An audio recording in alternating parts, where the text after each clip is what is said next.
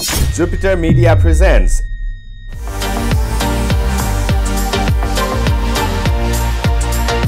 Awasar, telecasting global opportunities.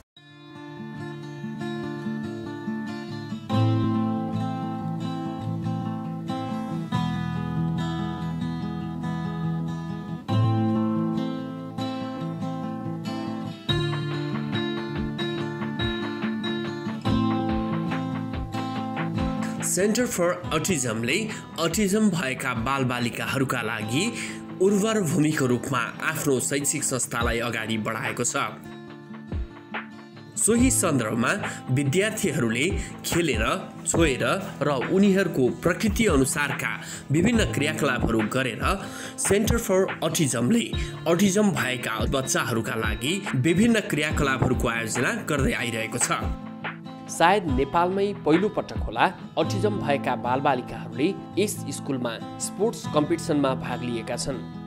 चौबिसजना बालबालिकाहरूले उक्त sports कम्पिटिसनमा भाग लिएका थिए। उक्त कार्यक्रममा विद्यार्थीहरूलाई बधाई तथा शुभकामना प्रदान गर्दै उत्कृष्ट हुने विद्यार्थीहरूलाई काठमाडौँ जिल्ला खेलकुद विकास समितिका प्रतिनिधि अरुण बस्नेतले मेडल तथा प्रमाणपत्र समेत प्रदान गर्नुभएको थियो। यो अटिजम प्रब्लम भन्ने बित्तिकै जुन फरक खालको क्षमता भएका विद्यार्थीहरू विद्यार्थीहरू बच्चाहरू र उहाँहरू बिल्कुल रूपमा क्षमताविहीन होइन है। उहाँहरूमा क्षमता छ तर फरक खालको छ। नर्मल मान्छेको तुलनामा भन्ने कुरो चाहिँ यो सेन्टर फर एटिजमले देखाउन खोजेको छ।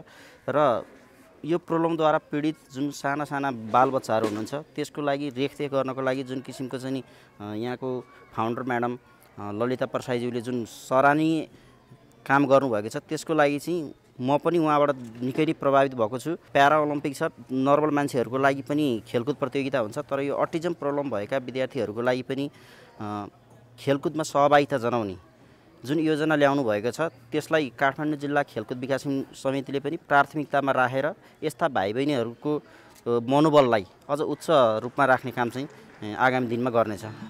साथै विन्डी हाउस स्कुलको प्रगति र सेन्टर फर अटिजमको प्रयासलाई उत्प्रेरणा प्रदान गर्दै नेपाल डेरी एसोसिएसनका महासचिव प्रहलाद दाहालले शुभकामना व्यक्त गर्नुभएको थियो। हामी यी अबोध बालबालिकाहरूलाई राज्यले सहयोग गरेर राज्यको केयर गर्नुपर्ने ठाउँमा एकजना व्यक्तिले यसलाई इनिसिएसन लिएर विदेशमा गएर ट्रेनिङ लिएर आफै लागेर जुन अवस्थामा उहाँले गर्नुभएको छ ललिता प्रसाईजी यसको धन्यवादको पात्र हुनुहुन्छ। अटिजम केयर सेन्टरसँग म नजिक पनि छु र ललिता दिदीले सुरुमा उहाँको आफ्नै नातिनी यो समस्याबाट ग्रस्त भइसकेपछि उहाँले यसलाई कसरी गर्ने भनेर आफै खोज तलास गरेर इन्डियामा गएर ट्रेनिङ लिएर आउनुभयो र मसँग बेला बेला कुरा हुन्थ्यो भाइ मैले फरक काम गर्न लागिरहेको छु सहयोग गर्नु पर्यो तिमीहरूले भन्नुहुन्थ्यो र बेला बेला बस्थ्यो हामी र त्यो बोर्डमा पनि दिदीले मलाई राख्नु भएको छ र मैले आफूले जानेको अरू कुराहरू जस्तै प्यारेन्ट्स डेमा पनि मैले म आएको थिएँ अरू कुराहरू अरू मान्छेहरूलाई लिएर आउने त्यसपछि जो जो यस्तो समस्यामा हुनुहुन्छ उहाँहरूलाई पनि यो कुराबाट चाहिँ कसरी हामी अब इम्प्रुभ गर्न सकिन्छ भनेर लाग्ने कुराहरूमा म लागिरहेको छु। कार्यक्रमलाई सफल बनाउनका लागि सहयोग गरिदिनु हुने हातहरूलाई कार्यक्रम आयोजक तथा सेन्टरकी चेयरपर्सन ललिता प्रसाईले धन्यवाद व्यक्त गर्नुभएको थियो। अटिजम भएका बच्चा चाहिँ हाम्रो अरू बच्चाभन्दा धेरै फरक राखियो भने फरकै भएर हुर्किन्छन्। उनीहरूको बिहेभियर प्रब्लम सोसाइटीमा बस्ने कहिले पनि सिक्दैनन्। तर हाम्रै सोसाइटीमा समावेश गरेर यिनीहरूलाई साथसाथ लगेर जुन अरू स्कुलमा र अरू बच्चालाई व्यवहार गरिन्छ त्यही किसिमको व्यवहार चाहिँ नि गरेर यिनीहरूलाई हरेक अपर्च्युनिटी हरेक फेसिलिटी अझ बढी दिएर चाहिँ नि लाँदाखेरि कुनै कुरा पनि असम्भव रहन्छ भन्ने चाहिँ आज मैले कुनै थोरै मात्रामा चाहिँ देखाउन सकियो होला। र मैले संसारको टिभी हेर्दाखेरि पनि कोही अपाङ्गहरूले पनि डे गरेको अरे कोही विल चेयरमा बसेर बास्केटबल खेलेको पनि देखेँ। तर उनीहरूको दिमागी हालत चाहिँ नि सबै सम्पूर्ण ठिक खालि शारीरिक चाहिँ नि अठिक। त उनीहरूले त सम्झेर यहाँ बल हाल्ने भन्ने त सम्झिन्छन्।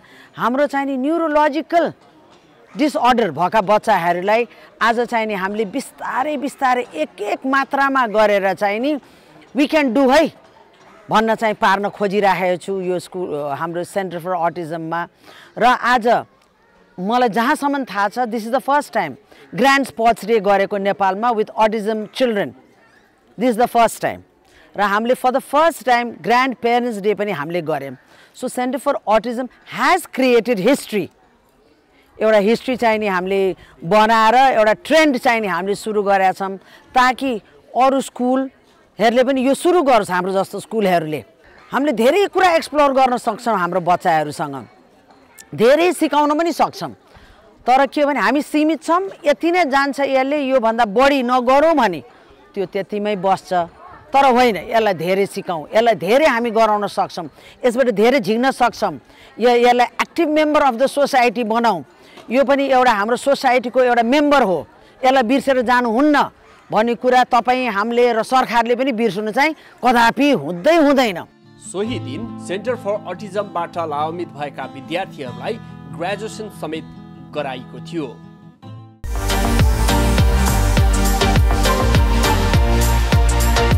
Awasar, telecasting global opportunities.